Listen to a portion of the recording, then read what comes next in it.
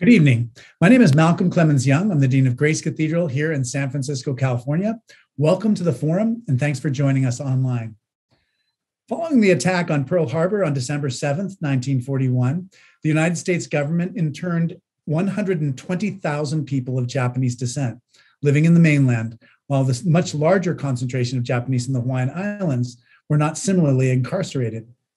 Tom Coffman is a political journalist and a leading historian of modern Hawaii. Author of six books and director of six documentary films, his latest book is Inclusion How Hawaii Protected Japanese Americans from Mass Internment, Transformed Itself, and Changed America. In making sense of the disparity between Hawaii and the mainland, Inclusion unravels the deep history of the US sabotage psychosis, the causes of the internment, and the special set of forces in Hawaii that preserved its interracial harmony throughout the depths of the war. Each year, the cathedral chooses a theme for inspiration and reflection. And in 2022, our theme is connection. Tonight, we'll be marking Asian American Pacific Islander Heritage Month with a conversation about inclusion and how small groups with a common goal and working cooperatively can result in wondrous social change. Um, I want to also introduce my wife, Heidi, who's joining us for the conversation. Mm-hmm. Um, Tom, it's such a blessing to have you here. We're, I'm so grateful for you for agreeing to talk with me tonight. Um, your book, Inclusion, um, I read. I read scores and scores of books about Hawaii history, but botany, mm-hmm. um, uh, pretty much anything you can imagine, music. Um, and this was one of the most powerful books I've read about Hawaii. Um, congratulations on such a carefully researched work. Thank you very much. And it's nice to be here. You know, as I was reading, I was thinking um, there were um, Japanese Americans in Hawaii were about 37% of the population, and in the west coast of America, they were a much smaller share of the of the population, but were interned in massive numbers. And I wonder if you can just give us the explanation for why the experience in Seattle or Los Angeles or San Francisco was so different than Honolulu or Wailuku or Lihue or what have you. Well, the numbers are are stunning. Um, the 37% in Hawaii number is, as you said, and when you say a small number in the West Coast states, it was between one and two percent, depending on where you were. Mm-hmm. So it was a widely scattered population that was a really small part of the total population. Um, nonetheless, it was perceived as uh, this great security threat uh, emanating from uh, scare stories that were originated from Hawaii uh, by, first of all, by the Secretary of Navy of the Navy, who arrived uh, the week after the bombing and announced that this was sabotage on a uh, almost unparalleled scale. Scale. It was uh, the worst since he had uh, since since the uh, uh, sabotage in Norway when the Germans invaded Norway. Uh, if you can imagine how inflammatory that was, and from his original scare statement. Um, the story mushroomed across the United States, it, around the West Coast, particularly, where there was uh, fear of an invasion, and uh, and it reached you know uh, very receptive ears in Washington D.C. People in Washington D.C., uh, starting with the president and with the intelligence agencies, who had looked at Hawaii's Japanese American population for years with skepticism uh, as to their loyalty. In Hawaii, by contrast, there was a great deal of community organization and communication, positive communication, basically, um, in which rumors were investigated and dispelled. Um, and uh, assurances were given from the top level authorities in Hawaii to the Japanese community to the effect that um, we want to uh, involve you in the war effort. We do, are not going to run out and do any kind of mass evacuation and uh, incarceration. And it set in motion a, an entirely different uh, dynamic. It set in motion a dynamic, um, by and large, this is, you know, not a perfect process, as you can imagine, such an anxiety laden time, but it set in motion a, a substantially trusting process. And so it was almost a night and day difference in which paradoxically the fear of sabotage took hold of the mainland population when it was disbelieved on the ground on the site of the attack in Oahu. Right, right. So in on, in Oahu, for instance, people are not worried about sabotage. And, even though the, the, the attack happened on Pearl Harbor, and people who are in Seattle are worried about sabotage, even though no Japanese forces have moved further east than Hawaii. That's it's such an interesting thing. I I I wonder too. Um, um, I, my family ha- actually, my great great grandfather was interned in World War One in Berlin. Um, and I wonder if you can talk a little bit about the history of just like internment camps in, in modern warfare. I, I mean, I wonder what you know about that. You, you may, may have done a little bit of research in order to understand the context of this particular situation. Yeah, I'm I'm not an expert on it, uh, but I can speak to it uh, at a modest level, and that is um, that you know internment uh, while it makes everyone's you know hair stand up on the back of their neck, uh, internment does logically arise. The subject logically arises if there is a large population derived from the country of origin that you're fighting with, right? Right, right. And so, you know, I think part of the discussion of inclusion, meaning in a general sense, not just my book sense, does need to deal with a rational discussion of internment or some kind of method of, of uh, intelligence gathering and surveilling in wartime and um, you know like supervised parole of of actually like a very few people. Mm-hmm. Um, yeah, that was interesting to me too. That the people in the Hongwanji missions were especially yeah. suspect. People who'd gone back to Japan, Japan for language study, et cetera, were were yeah. especially under scrutiny. So people who were uh, close to Japan or or sent from Japan as teachers, as missionaries, to temples uh, or as uh, uh, you know for Shinto temples, which were very much identified with Japanese militarism. Yeah, um, and a certain number of Japanese language journalists, most of whom were Japanese American, um, and uh, a, a number of Japanese businessmen who did a lot of things like import export. And so this amounted to um, in the in the first round of right after the uh, bombing, about four to five hundred people being picked up and uh, detained, and that is uh, uh in contrast to several thousand on the west coast. Yeah.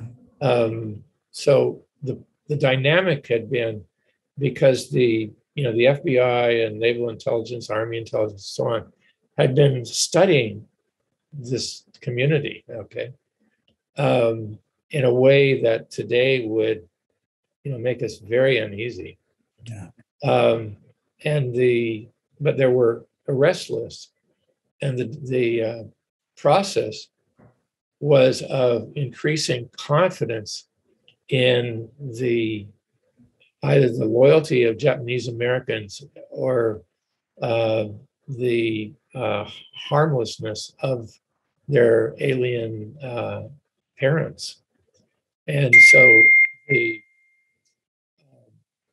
the number of of people on the arrest list was shrinking. Yeah, I think it's so interesting that that, that um, a key number of leaders in Hawaii um, did the research and realized that this wasn't a threat. I mean, you know, Heidi, I, I have never asked. Oh, do you? I was going to ask. Yeah. yeah. Um, what about you know a lot of uh, Japanese in Hawaii at the time were also migrant workers. You know, who had come over for sugar. Um, was that uh, at all? And you know, also I know the camps are only on Oahu at the. So did anybody come from the outer islands to those camps as well? Those are my questions. Oh, okay. Uh, the answer is um, that they did come from the outer islands. Uh, there were camps on uh, all five of the major populated islands. Um, small numbers from neighbor islands by and large. Um, and um, many came from Oahu because a disproportionate number came from Oahu because you're not really mostly talking about plantation workers at all, but about members of a intellectual, religious, or business elite. Mm-hmm. Yeah, that it was that was one of the things that was interesting to me too. Is just um, that it was it was class based in a way. I mean, they weren't con- concerned about people who were c- cutting cane in the fields. They were concerned about journalists, um, for instance. Yeah, right.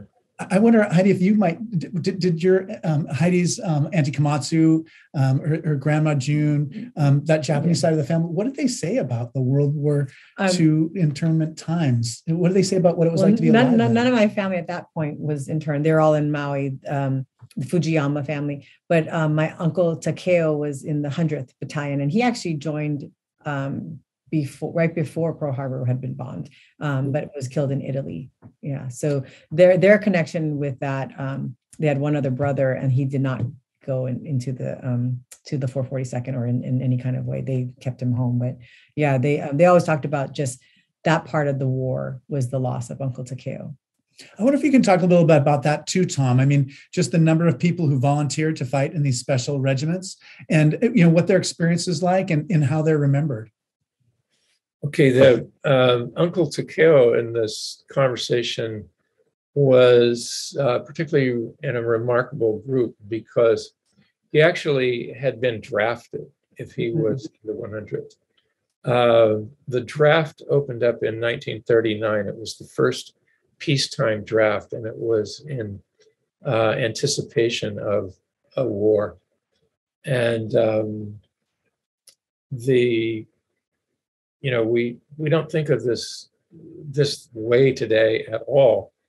But minorities in in the United States generally were very apprehensive not of being drafted, but of being left out and of and essentially being pariah populations, um, populations that were further marginalized by not being in military service. So the inclusion in the draft resulted from an amendment that was uh, uh, lobbied by the NAACP primarily. Wow. Uh, which said in the draft you cannot dis- cannot exclude by religion, ethnicity, etc. Um, and that applied to Hawaii as well. And so suddenly about 2,000 uh, young men were drafted in 19, 1939, 1940, 1941. There were several waves um, and trained, uh, armed and uh, trained in combat, um, and stationed at Schofield Barracks.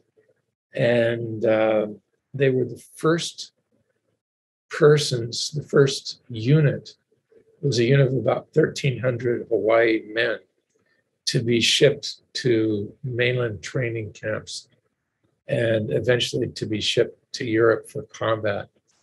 And it resulted from uh, a, an agreement that is a, a, a great paradox. That was the architect the person who's widely regarded in Japanese America today as the inner architect of the mass internment removal of mainland Japanese Americans, John J. McCloy, who was Undersecretary of War, stopped over, stopped over from uh, Washington, D.C., stopped over on the West Coast, met with various people, gave a go ahead based on President Roosevelt's uh, work for the mass evacuation from the West Coast and then flew to Hawaii and was surrounded by people who vouched for the loyalty and value and worth of all the Japanese Americans he met there. And he did a 180 within days. He realized that he had it wrong. And he conspired with the martial law governor of Hawaii to organize this unit that your uncle was in mm-hmm. and send them off to for training uh, even when there wasn't any clear agreement within the war department or the president uh, as to what would happen next. But they distinguished themselves in training and then in battle um, in extraordinary ways. And uh, it opened the door to the much larger and more famous unit. Uh, a lot, a lot more people are familiar with the 442nd. It's called the 442nd Regimental Combat Team, which was a unit of um, at least three times that size, um, and that really opened things up and turned things around because they were an all volunteer unit. Uh, Two thirds were from Hawaii. Uh, people, 10,000 young men from Hawaii volunteered. Um, and um, so there wasn't room for all of them in the first wave by any means.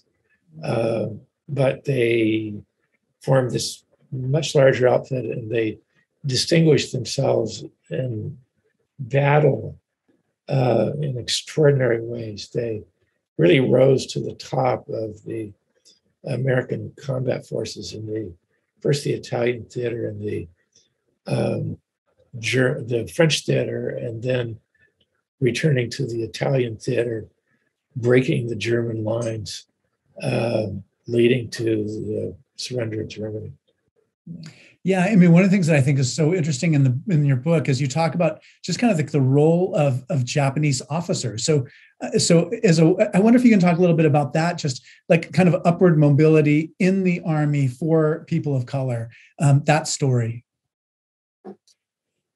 Okay, there's there's layers and layers, but yeah, the, everything's complicated. The, the, the, seminal layers are always the most interesting, right? Because, yeah, exactly. Uh, but at any rate, uh, Hawaii, as part of uh, Army people on the ground in Hawaii, were always much more favorable to most mostly were more favorable to Japanese Americans than the War Department by far. Yeah. And as a feature of that, they started ROTC in the high schools in 1923. I, I was in JROTC. that that fits. Yeah. and um, so there were you know hundreds and hundreds of young men who were you know introduced to military training and um, then went on to ROTC at the University of Hawaii and would do you know like two week summer camps and and uh, all of that. And some of them became officers in the 100th battalion immediately. And then some additionally became officers in the 442nd initially. Uh, but by and large because of this war department distrust and this essentially racialized system right yeah uh, white officers were imposed um, at, and the, in the higher reaches. But as battles went on and, and you know, battlefield deaths went on, uh, increasingly, um, Japanese Americans exerted a higher and higher level of leadership until finally um, one was a commander of the 100th Battalion. Yeah. You know, it's funny because I, I came on the scene um, and I, I, guess I saw some of the vestiges of just like this incredible like Japanese culture in Oahu. I think like of Kuakini Hospital, like volunteer associations, religious organizations. Uh, um, uh, one of the things I, I am interested in is if you could talk a little bit about the situation for Japanese Americans or people of Japanese ancestry in Hawaii in the 20s, and, and then what it was like for people of Japanese, Japanese ancestry after World War II. Okay. Uh, what would I say about the 20s? I would say that, um, for, uh, first of all, as background, sort of between the, the annexation of Hawaii mm. in 1900 and World War One, um, I'd say it was a very, you know, white colonial, white dominant society, um, pretty much unqualified. Um, and Japanese had were um, only arriving in large numbers in the late 19th century and early 20th century. Um, as um, it turned the corner from World War One and the interwar period, uh, the Japanese community was getting, I think, increasingly well organized mm. um, and active in uh, civic life, active in preliminarily active in politics, uh, businesses functioning, uh, some labor organizing uh, going on. It was very important. And um, generally, there was a a realization, I think, on the part of the white elite that the Japanese community was there to stay. Yeah. It was not a transient community. It was, they were neither um, coming to Hawaii and then returning to Japan, nor coming to Hawaii and then moving on to the mainland. That this sizable Japanese population um, had developed and put down roots.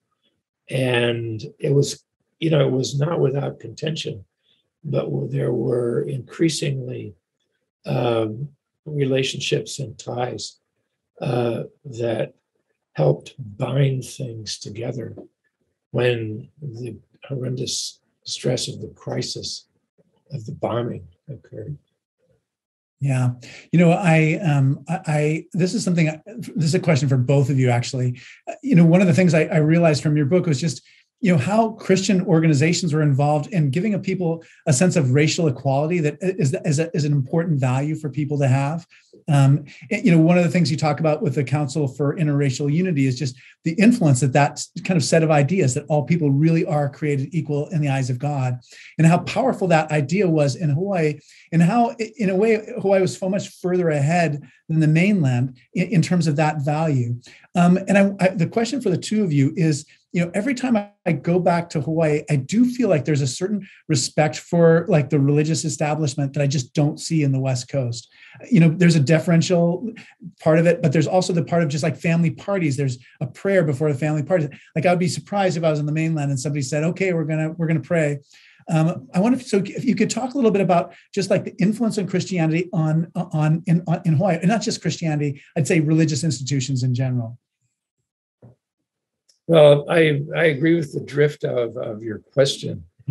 Um, is a, um, you know, it, it, it comes from multiple directions. I think it comes from a Native Hawaiian population that was deeply religious to begin with, um, and which very quickly adopted uh, Christianity as the state religion of the Kingdom of Hawaii in like 1832, I believe it was. Yeah. Um, and uh, the Board of Missions, um, you know, Hawaii was a very high priority uh, with the Board of Missions. They sent wave after wave of missionaries. Um, and then Asians came with uh, Buddhist beliefs primarily, but Confucian beliefs and Shinto beliefs. And uh, all these mingled together into a kind of, of uh, cultural religious climate in which um, uh, there was a certain reverence for life or uh, valuing of of uh, life and uh, the Christian doctrine, particularly the quality of of each person, uh, undermined white racism. Yeah. To a certain extent, it um, was in uh, inherent contradiction and inherent opposition to white racism. And uh, uh, so there was always this tension, and the tension um, went very far back in time, but it was very much at work in the crisis of 1941. No, that's interesting. For example, uh, just for example, um, many of the people who were involved in the networks which navigated the crisis were YM, were connected to one another through the YMCA, Yeah. the yeah. Men's Christian Association. And the YMCA Christian Association was uh, reported repeatedly as being the most active Y program of any city in the United States. Yeah, I mean, it was uh, tremendous just to read all the different accounts that you describe and just how liberating that idea is, and just the dignity of every single human being. Uh, you know, um, this is a question that either of you can chime in on too. Um, I, I, think about um, kind of pre-Captain Cook Hawaii, and just like what parts of that are left kind of in the culture that, that you. So when you think of, you know, what's what's left, what are the first things that you think of? Language. Yeah. I feel like the language um, is increasing again with our language immersion schools. And I think with language, you can understand who you mm-hmm. are as a Hawaiian, as a person, as a native. Um, I think that also goes deep into who our, our religious being, um, because like just like land acknowledgments or things like that are to being thankful. I, I think that's who we are. Um, it's in our core for water, for land. Um, and so I think definitely having our, our, our languages on a rise. It was definitely, um, we were the most literate, you know, for a period of time. Um, in the 19th century. Right. Um, and, and with David Malo. And um, so I think ha- having that resurgence, like my generation, you know, in the 80s, we, everybody took Japanese because you wanted to work in the hotels and be able to speak Japanese. Um, but my niece and nephews, they're all like Hawaiian. Olelo Hawaii, you know. So I think language. It's interesting too, as, as, you said that, I was thinking about jurisprudence, just like the ways in which Hawaii's judicial system is different than the mainland's because of that mm-hmm. native Hawaiian mm-hmm. experience. What do you think of Tom when you think of just um, of, of of that culture and its uh, uh, ongoing effect into our time? Well, I uh, the the revival of language is the most, you know, the single most extraordinary uh, and successful aspect of it. Um, but certainly, all, really, all aspects of, of Hawaiian culture are being retrieved on some level and being revived and reworked for contemporary time, I think. Mm-hmm. Um, and then, you know, the question of the relationship between this, in essence, a suppressed nation. The Hawaiian word is lahui, yeah. suppressed nation of people. And what is the relationship of a suppressed nation to a, uh, what was it, in essence, an invading mm-hmm. uh, nation? Right. Um, and uh, that that all remains to be worked out and the problems of relationship and the problem of inclusion um, is, I think, you know, very much in the forefront of of how we're struggling today with the relationship between the state of Hawaii, Native Hawaiian, Lahui redevelopment, um, and in turn the relationship to the United States. It occurs to me that Hawaii is the only state of the United States where there is an indigenous population that uh, has a tradition of nationhood as a as a uh, contrasted to tribal organization. And um,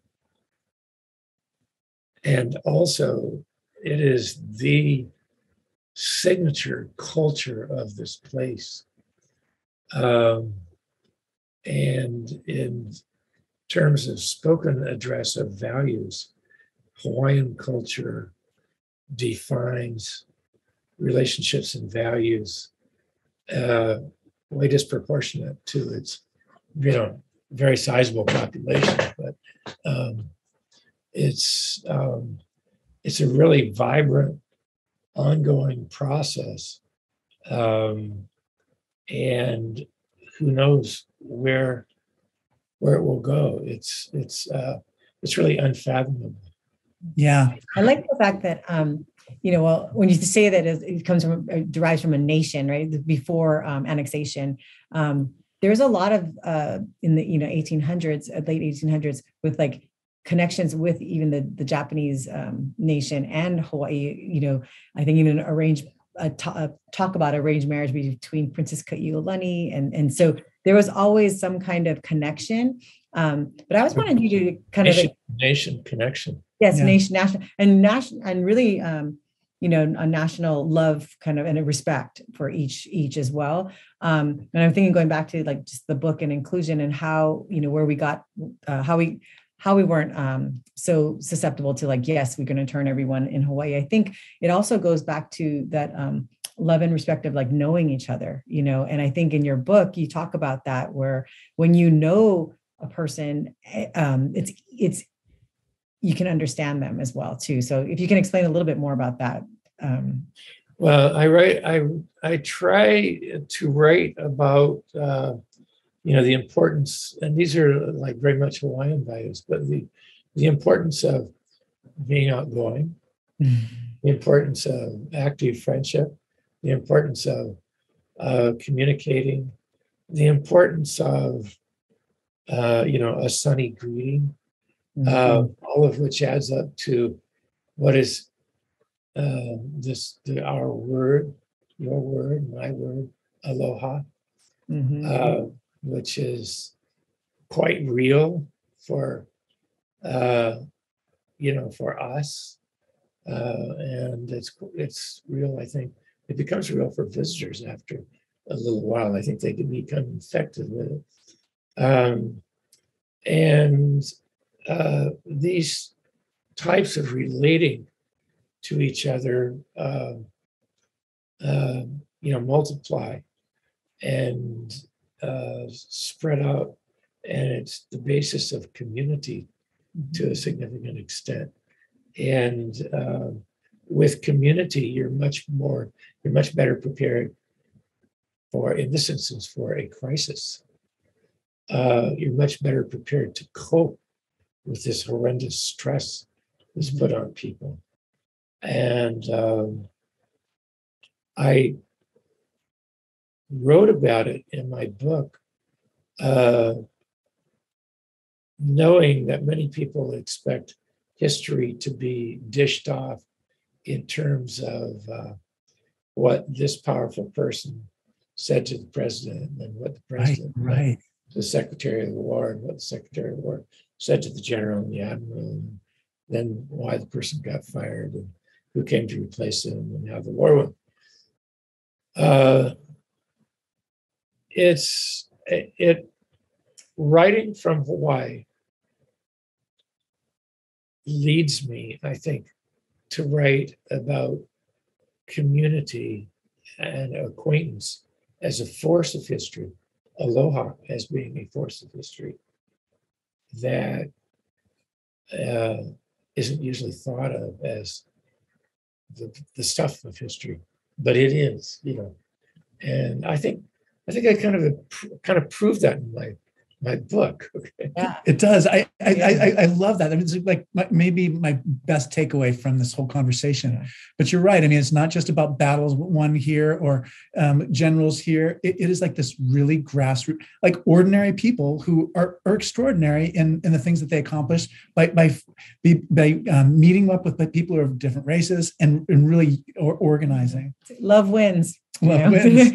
Love wins for sure. You know, I wonder if the two of you together can just kind of like explain like the overthrow of the monarchy to like everybody out there in the world. I mean, I have my own little story. It's like like little um, elevator story of it, but uh, maybe I'd love to hear what you guys say about the. I think Uncle's the historian. Why don't, why, don't you, why don't, you, do your take? My, for me, I wrote, I wrote, a whole huge book about. Yeah, exactly. I know. I feel, I feel like you should probably. Uh, well, you, my my understanding has um, more to do with like McKinley and the um, uh, so tariffs, like sugar, sugar tariffs, yeah. and and American businessmen um, in Hawaii with sugar and wanting to not have to pay the tariffs, and therefore, kind of imprisoning the, our queen for a year, and, and talk about a person of deep faith. You know, compose amazing yeah. music and a huge prayer for the people who are doing this to her. Um, one of the, the Queen's Prayer is one of my favorite songs, and so talk about um, yeah, someone who just was steadfast in who she was. But it seemed to me it had to do with sugar and the tariffs and and that. But yeah, so so so the, the tariffs. That's my there was an economic reason. That's good. That's good. Territory of Hawaii be. okay, on on that on that uh, slice, uh, basically, it was a trade between the American elite in Hawaii, the American descendant elite in Hawaii. And they were the missionaries whose children went into business because the mm-hmm. mission cut them off, okay? Stopped supporting them. And they became business and then they became business tycoons. And they became the, sh- the people who organized this sugar industry, which spread across all the islands, right? right. As you know. Mm-hmm. Um, and the trade off was the sugar industry wanted duty free access to the United States sugar market so they could compete directly with American cane sugar. And the United States wanted Pearl Harbor as a means of projecting American military force into the Pacific. Mm-hmm. And that that's essentially what's embedded in in all the documents and horse trading and the coalescing of interests and so on. Okay, so that's like the big picture thing, and it, I agree with your observations. Okay, mm-hmm. um, I I want to tell a personal story. Yeah, yeah, let's hear it. like a life in Hawaii story. I have this very dear friend, Miley Meyer, uh, and uh, you know Miley and I just read about her in your book. um, and and and her sister Miley is a community building cultural force, mm-hmm. and her sister Meleanna is a community building artist, and her other sister Manu is a. Uh, she was at Harvard when we were there. yeah, yeah. Was, you know, Harvard. Okay. Yeah. That's a small world. a brilliant scholar, right? So the but lately Miley's adopted the book, and uh, and uh, I, I was invited to one of her gatherings, and it was this wasn't about the book, okay, but it was it was a classic. Let us get to know one another another plane, a gathering in another context, another level. And we were in the Iolani Palace, mm. circle of people, about 15 people. And I was the old guy, and there were a lot of young people, really smart young people. And we were in the Queen's room. Mm. She was imprisoned. We sat there for two hours talking about life, ourselves, relationships, history, and so on. And we sat next to the enormous quilt that she made while she was there. Yeah. That's Yeah. amazing. It was, It a is Hawaii, it was a Hawaii thing. Yeah. Uh, okay, so what can you say about annexation? You can go on and on and on. It's basically the beginning of American overseas imperialism. It occurred in context of a war instigated by the United States government Right. against uh, Spain, Right. uh, and it got confused with the uh, crisis in Cuba, which was a Spanish colony, and it got confused with the Philippine American War that Americans know nothing about. But we fought a war for 13 years in the Philippines as part of uh, of uh, uh, suppressing uh, Filipino nationalism and taking over the Philippines until um, 1946 Yeah. um, when it finally was made an independent country.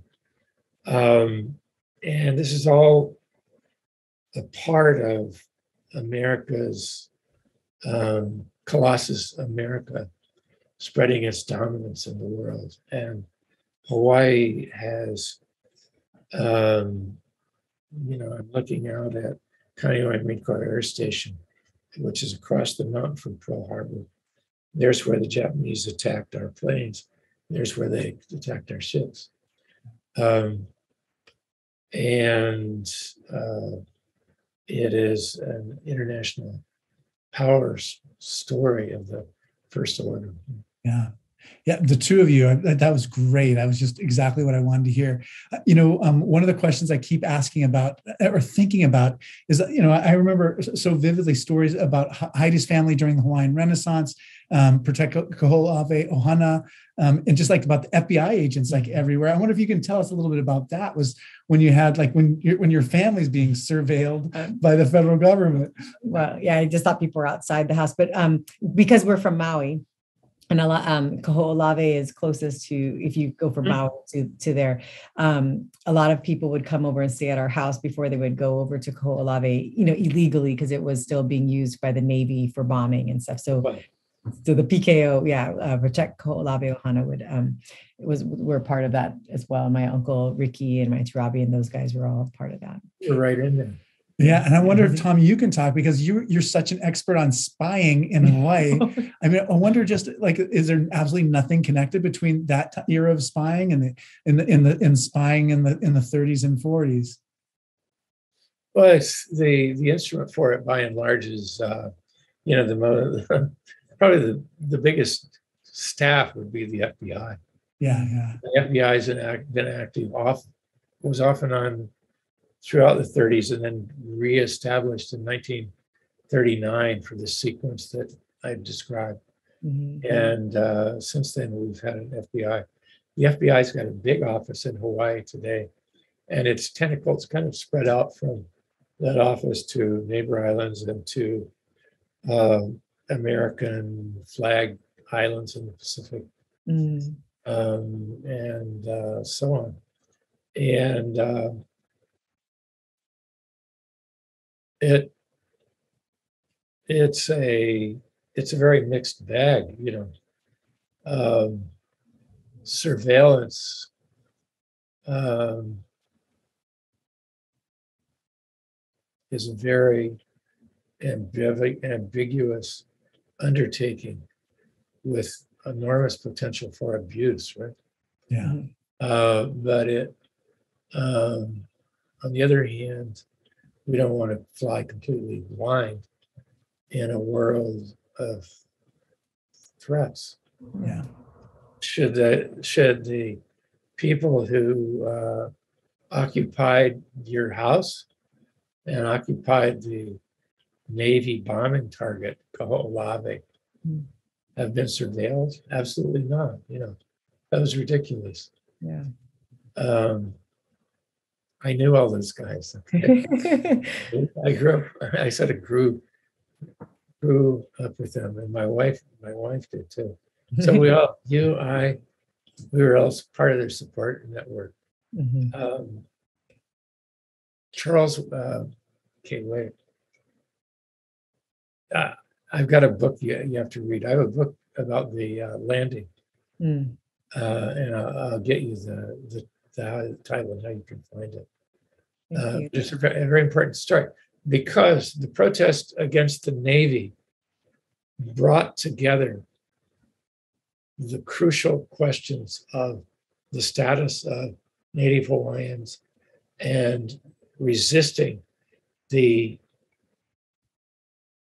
military takeover of Hawaii on a that level, resisting the this heinous use of an entire island as a bombing range Right. and the destruction of the uh, s- the destruction of the soil, of the water base, of the uh, profile of the island, even, and turning of it uh, turning it over into a, uh, a a place that's like a landmine, um, and that's what this small group who you knew, nine people initially in the first landing, I think, right?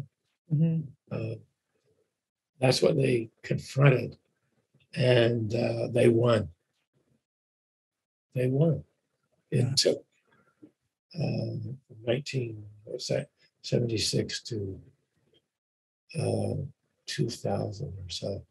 It took 27 years, but Kaho'olawe is being renewed today, Yeah. and it's been turned over to the state of Hawaii as a caretaker for the return of it to the Hawaiian Lahui. Mhm. Yeah. Can you Mhm. tell us um, how many how many um, Japanese were interned in Hawaii? Uh, You know, because I know you said it, each island had several. And how long did people stay in the camps? I never ever learned. I mean, how how, long did they stay? There were there were uh, a few, a relatively lesser number of this original 500 who were basically in for the entire war. The entire war. Uh, and then there were additional who were slowly, uh, additional people would be rounded up. Typically, there were people who had studied in Japan. Mhm. Um, and then there were people who were encouraged, uh, who were wives and children, to go to two camps in Arkansas, Rohwer Camp and Jerome. And uh, they were not only encouraged, but they were pressured in some instances. And in some instances, I think there's there is documentation that they were, in essence, forced. Forced. Uh, and it was that was a very small number, but it was, you know, it wasn't pretty. Yeah. Yeah. You know, um, Tom, one of our, our, our traditions is we take questions that get, sent into us. And so here's, a- here's a question. You may have already answered a little bit of it. Um, is the difference in treatment of Japanese people in Hawaii something to, uh, uh, does it have something to do with the traditional Pacific Island people's view of family and community, no matter who they are? I'm not talking about the large population of white people in Hawaii now, but the native Hawaiian people. So that's just reading the, the, the question. Yeah, no, I I think so. I think it is a sense of ohana, Yeah. family, um, and welcoming. And uh, um, you are of mixed Japanese Hawaiian ancestry, right? Yeah. I'm I'm the complete product of Sure. probably sugar in some ways because um my my 'Cause you're mom's so sweet. No, my mom's side is um you know French, uh, Native American, English, and um, Hawaiian, and then my dad's side is Hawaiian, Chinese, Japanese. So There you go.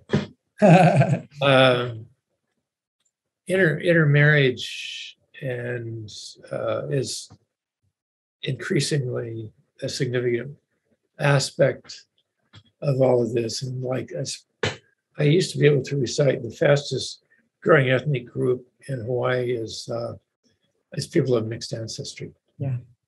Uh, in my uh, now sprawling family, uh, we have uh, Hawaiian, Mm. Chinese, Vietnamese,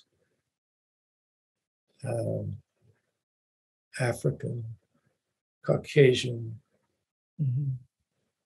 probably another one or two. Uh, and that's in four generations. So Y- You know, um, one question I just must come up all the time for the two of you is, you know, Barack Obama. And what do you think? Um, what effect did Hawaii have on Barack Obama? What effect did that have on the United States culture, life, polit- politics, et cetera? Oh, I think Hawaii affected Barack Obama. I mean, you can't you can't be in Hawaii and not be affected by the aloha spirit and growing up with ohana around you and you know and a loving diversity and, and true um, embracing and, and inclusion and stuff and as well as to you know go off and then um, he had a great education at Punahou and then go off um, and kind of I think spread that aloha spirit and that message and I think that's what he tried to do in his presidency. Michelle Obama, the first lady, said uh, to understand Barack, you have to understand Hawaii. Yeah, Uh, that's a good summary. yeah, definitely. Hundred percent. So, what do you see as the effect? I mean, um, just just his general viewpoint, or I'm sorry, I, I don't quite get your question. yeah, I mean, um, what you know, do you see any pr- um, particular like policies or any particular uh, speeches or anything like that that that you see that in more or, or less, or it may just may that may may be too far, too too finely point. In President Obama, Yeah, um, well, I think his his whole presidency and his whole demeanor was about trying to bring people together and to try to create a more unified and whole nation.